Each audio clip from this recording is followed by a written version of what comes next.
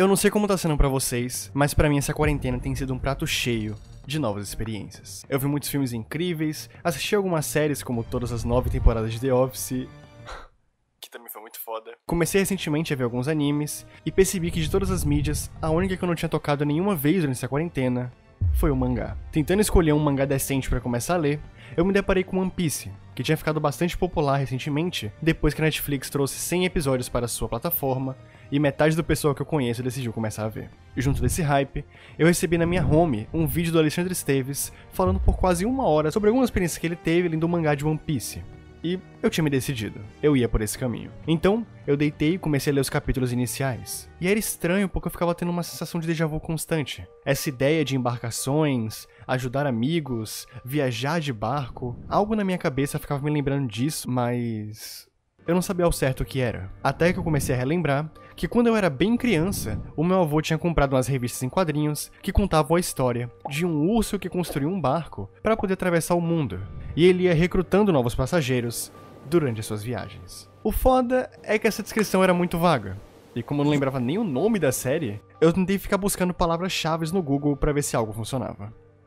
Urso construindo barco, Urso, histórias em quadrinhos. História infantil, Bear, barco, boat and friendship comic. E nada funcionava. Realmente estava bem difícil ter qualquer resquício de lembrança daquela história. E os dias se passaram, e a mesma imagem de um construindo um barco ficava martelando na minha cabeça. Eu só tinha esquecido do único detalhe. Aquela coleção de quadrinhos era originalmente do meu avô. E se tu conhecesse meu avô, tu saberia que ele é um cara muito cuidadoso com seus livros. Então, se alguém poderia ter algum exemplar, só poderia ser ele. O problema é, a biblioteca dele é enorme. Literalmente toma todo o espaço da sala. E eu definitivamente não sei quantos livros tem aqui, ou quão raros são os livros que tem aqui.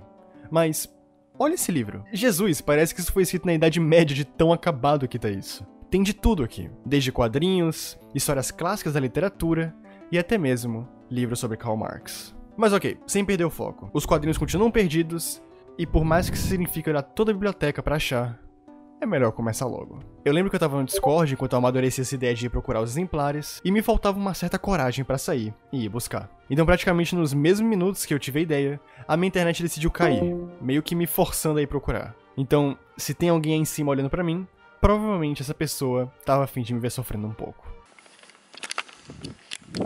Já eram 2 horas e 42 da manhã. 40 minutos haviam se passado desde que a internet caiu, e nada de achar os quadrinhos. Na verdade, eu nem mesmo me lembrava como esteticamente eles deveriam se parecer. A única coisa que eu sabia é que tinha um urso na capa e que se eu achasse um, provavelmente teriam mais umas 10 cópias do lado dele. Então, era por um padrão que eu tava procurando. Mas infelizmente não funcionou. Por mais que eu virasse e revirasse aquela biblioteca do avesso, eu não conhecia nada dali. Eu não fazia ideia de como estava organizada. Então, era quase impossível achar sozinho. Frustrado essa internet, eu só decidi dormir. Ficar acordado iria me deixar só mais ansioso. E eu já estava ansioso o suficiente. Mais ou menos depois de umas 4 horas de sono, eu acordo com meu avô batendo na minha porta e, para minha surpresa, ele tinha achado os exemplares e eu podia ter certeza, depois de tudo aquilo, que essa revista realmente existia e que não era só mais um surto da minha cabeça. Yay. Finalmente eu poderia reler e me lembrar de um dos quadrinhos que mais marcou a minha infância. E quando eu falo minha infância, eu acho que só foi a minha mesmo, já que eu duvido que vendia cópias de Patsy na Saraiva da tua cidade. Patsy, ou como é originalmente chamado, Ramos Clamp, é uma revista em quadrinhos dinamarquesa feita em 1951 pelo casal Carla e Willem Hansen. Eu acho que é assim que se fala. E por mais que você provavelmente nunca tenha tido contato com isso, saiba que lá pela Europa e principalmente na Dinamarca, Clamp é incrivelmente famoso. Tanto que, além das revistas em quadrinhos, Clamp também recebeu algumas adaptações para televisão, sendo programas infantis com fantasias ou até mesmo animações. Jeg gemmer mig for Turnifacts, né? Du... Måske er não. Cara, eu não entendo uma palavra que isso está falando, mas eu achei a voz dele extremamente relaxante. Então, eu realmente relevei esse fator. Ah, e também tem essa animação mais recente dos anos 2000, que me lembra bastante o Pingu, já que ela foi feita com massinha. Oh, Sturm hat bestimmt nicht mal Seebär erlebt. Er pennt seelenruhig. Enfim, vamos pro que mais importa. Agora que eu encontrei essas belezinhas, eu vou mostrar um pouco da história para vocês. Patsy, que é o personagem principal da nossa história, encontra esse leme e o confunde com uma roda. Inicialmente, ele tenta construir uma bicicleta, mas obviamente dá errado. Então o Pelicano Rick fala que esse leme faz parte de um barco. E aí, começa a aventura deles construírem um. O Patsy, ele é muito bom em construir e planejar estruturas. Tipo, bom pra caralho. Durante todos os livros, ele pelo menos constrói mais de 30 coisas para ajudar os moradores das ilhas que eles visitam. Seja uma casa, um outro barco, um carrinho, uma âncora. Enfim, o maluco é o melhor construtor do mundo. O Rick que eu falei ali atrás, meio que parece o rico de pinguim de Madagascar. Ele tá sempre tirando tudo que eles precisam da boca, seja peças de barco, ferramentas de construção, ou até mesmo roupas reservas pro Patsy. E olha que ele precisa bastante. O almirante é uma foca que só faz duas coisas: come e dorme. Literalmente você nessa quarentena. Tô brincando. Só que como o nome diz, ele é muito bom em navegação. Então normalmente é ele que guia os personagens para os locais certos. E de quebra ele cozinha umas panquecas de vez em quando. E por último, a gente tem o Pingo, ou Pinguim, que sendo bem sincero é o personagem mais normalzinho do grupo. Ele não tem nada especial, mas ele sempre tá com o Patsy e é o Pinguim gordo. Então, eu acho que isso já é fofo o suficiente para tu gostar bastante dele. Como o Pets é uma história majoritariamente infantil, não tem muito que eu destrinchar por aqui, além de que estamos falando de uma história dos anos 50. Ah, e uma curiosidade bacana é que em alguns momentos da série há uma quebra da quarta parede entre os personagens e os leitores da história.